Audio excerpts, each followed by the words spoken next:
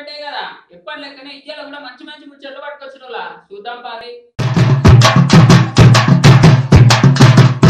ఛత్రపతి శివాజీ మహారాజ్ భారతదేశ చరిత్రలనే సువర్ణ అక్షరాలతో లిఖించబడిన పేరు ఆయనది. ఆయనను దలుచుకుంటే చాలు హిందూ మతంలా పులకింత పుడుతుంది.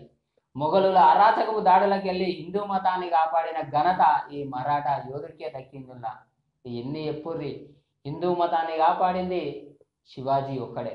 మొఘలుల అరాచకపు దాడులకెళ్ళి హిందూ మతాన్ని కాపాడిన ఘనత ఈ మరాఠా యోధుడికే దక్కింది. ఇక తన తల్లి జిజియాబాయి పెంపకంలా బైరామ్ ఖాన్ శిక్షణలో రాడుదేలిన శివాజీ తన యుద్ధ తంత్రాలతోని బీజాపూర్ గోల్కొండ మొఘలులకు ముచ్చమటలు పట్టించిండు.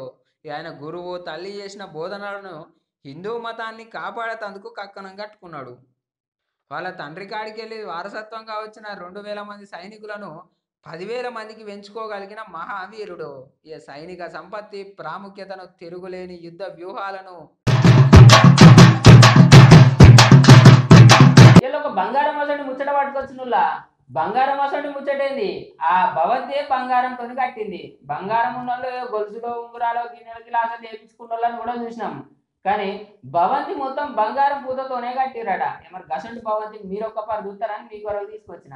వియత్నాంలో ఉన్న ఈ హోటలు ప్రపంచంలోనే ఇరవై నాలుగు క్యారెట్ల విలువ గల బంగారంతోని తాపడం చేపించిన ముందాడి ఓటలుగా గుర్తింపు వచ్చింది.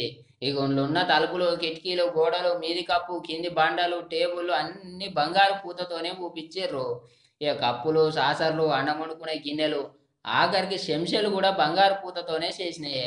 ఈ ఆఖరికి బాత్రూమ్లలో ఉండే నల్లాలు టేబుల్ కూడా పుత్తడి పూతతోనే ఉంటాయి. ఇరవై ఐదు అంతరాలు ఉన్న ఈ భవంతిల మీది అంతస్తులో స్విమ్మింగ్ పూల్ ఉంటుంది. మరి ఇంతటి భవనాన్ని పుత్తడితోని పూత ఊపించేందుకు పదిహేను వందల కోట్ల రూపాయల ఖర్చు అయిందట మరి ఓటలు చూస్తుంటే మీకు కూడా పోబుద్ది అయితే అన్నట్టే ఉంది కదా. కానీ అనుకున్నంత అలకడి పని అయితే కాదు. ఒక్క రోజుకు పద్దెనిమిది వేల రూపాయల కిరాయి అట ఈ హోటళ్ళు ఉండేటందుకు.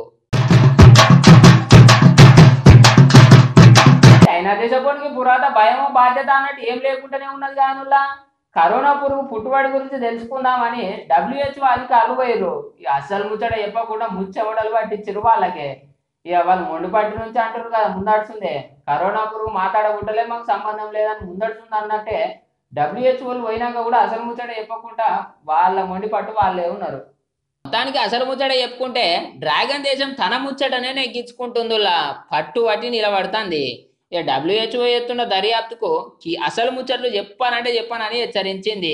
పద్నాలుగు మంది నిపుణులు ఇరవై ఏడు రోజుల సంధి దేశం అంతటా తిరిగినా కానీ కరోనా పుట్టుక గురించి ఒక్క ముచ్చట కూడా తెలుసుకోలేకపోయిర్రు.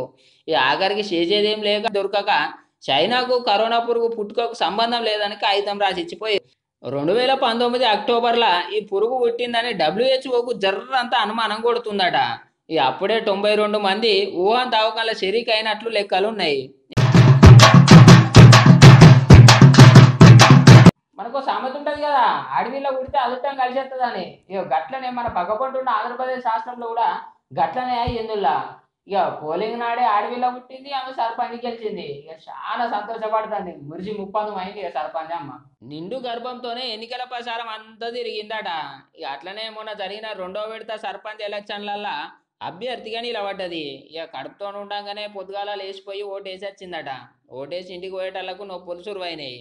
ఇక ఆయనతో ఎంబడే కైకలూరులో ఉండే దావకాలకు తొలుకోబోయేటళ్ళకు పండంటి ఆడి వీళ్ళకు జన్మనిచ్చింది ఇక ఊర్లో సర్పంచ్ గెలిచింది. ఒక్కపారే రెండు ముచ్చట్లు ఆయటాలకు నా చిన్న బిడ్డను చూసినప్పుడల్లా నేను సర్పంచ్గా గెలిచిన ముచ్చట యాదికొస్తుందని మురిసి ముప్పందం అవుతున్నది సర్పంచ్ అమ్మ. ఇక మరి. ఇంతటితో నీ ముచ్చట్లు అయితే అయిపోయినాయి. ఇక మళ్ళీ గిరే అలాగే ఇంకిన్ని ఇంకిన్ని మంచి ముచ్చట్లు పట్టుకొస్తా. చూస్తూనే ఉంటుంది టీఎస్ ట్వంటీ ఫోర్ న్యూస్.